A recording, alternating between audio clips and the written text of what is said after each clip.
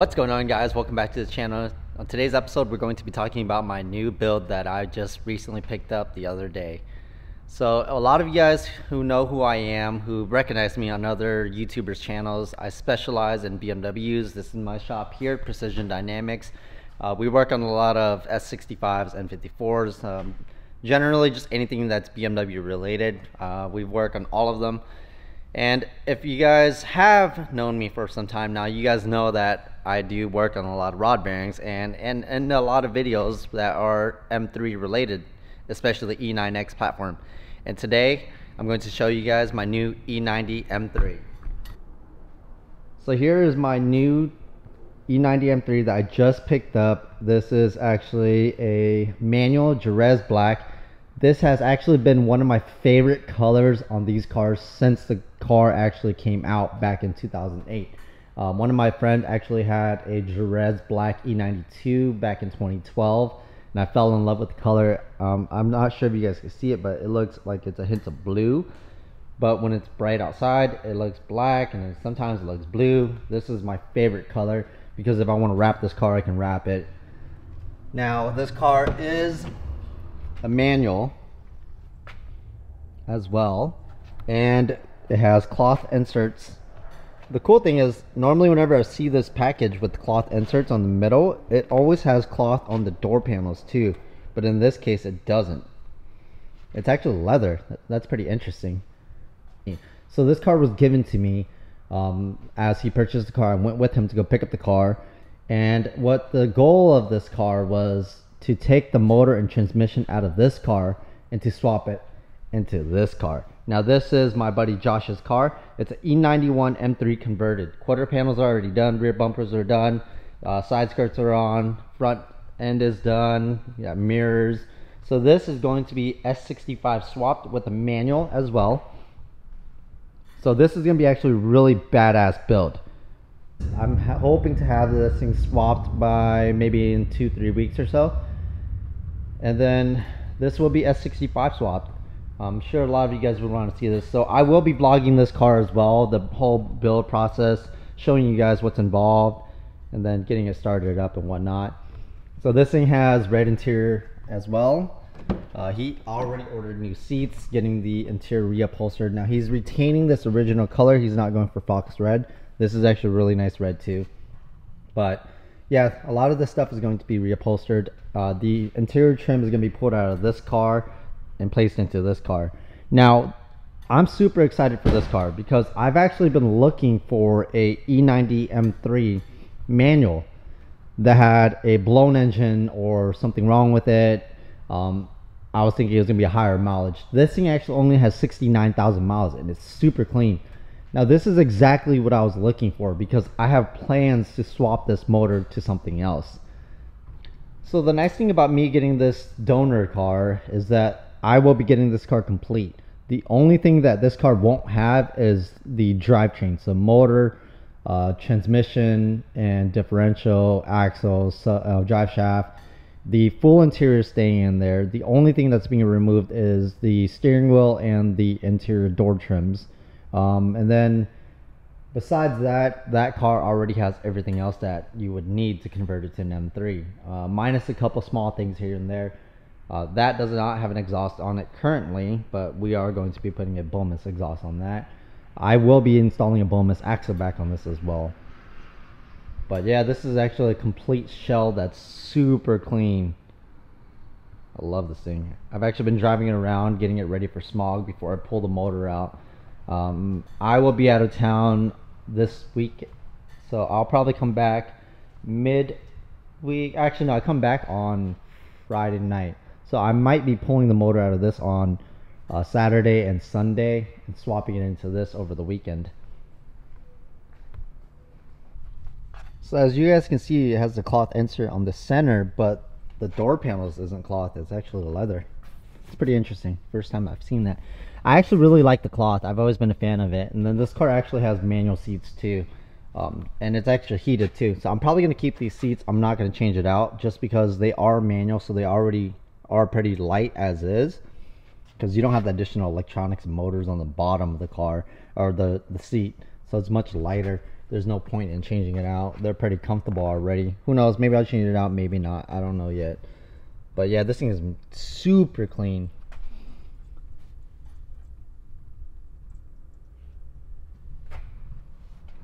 The only thing that I wish this thing had was a slick top, but we all know that's uh, you know wishful thinking in a E90. The market these days, it's almost impossible finding a E90 M3 right now, let alone a manual E90 M3. Um, one of my buddies has actually been looking for one for a while now, and he just can't seem to find it.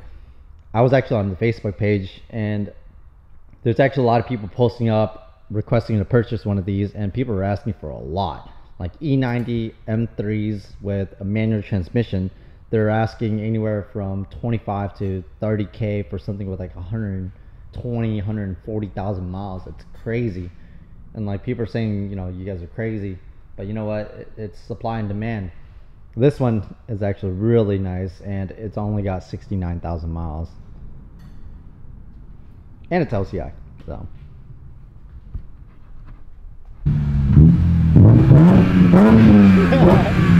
Alright, let's go for a ride.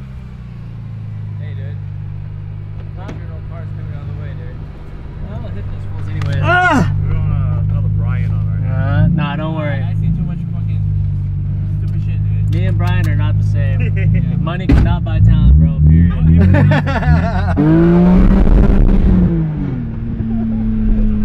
Yeah, other side. Oh, so there's people? Hey, well, you can take that fucking hit right there. this is gonna be your first actual real drift, huh? yeah. I got a bunch of shit in my eyes right now, but. Yeah. That, that happens.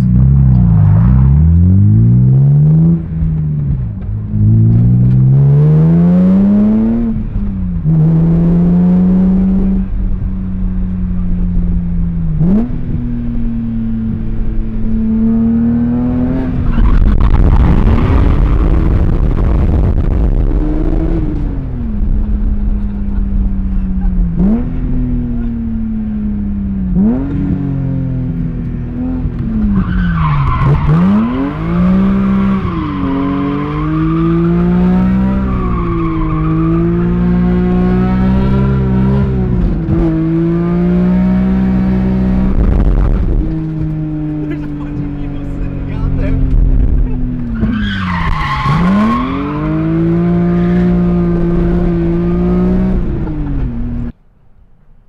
So we're going to start off where I left off yesterday because I did get a little bit busy afterwards. Uh, people started showing up and we had a bunch of cars to work on. But we have the E91 moved into a different position now where you guys can actually see more of it.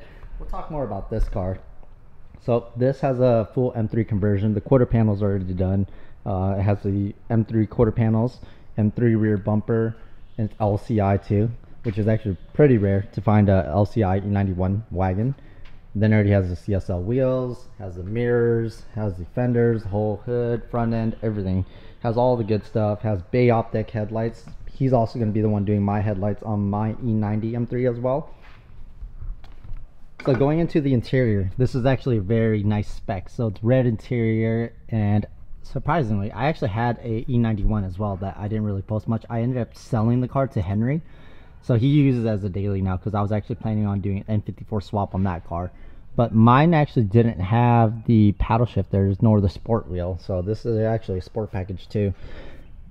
The weird thing about this car is that I don't think these ever really came with black headliners. Um, this one has, you know, gray headliner, but he's gonna get it reupholstered to black. I think he's gonna do Alcantara. He's getting new seats for the front as well, um, and he's getting Recaro Sportsters. And then, yeah, this thing's gonna be a pretty cool build too. Uh, it's gonna be pretty awesome to see a E E91 M3 converted manual. Oh, this is interesting. I've never seen the airbag cover being all black like that. It's kind of weird. But yeah, this is actually a really cool spec. Super excited for this build. Excited for my E90 build. Um, I have quite a few builds going on that we're doing. Hopefully, we'll have all these builds ready for, you know, hopefully if there's Beamer Fest or something like that. Then we can take it out to Beamer Fest and showcase all these cars and you guys can all come in by and check it out. Uh, I think these cars should grab quite a lot of attention.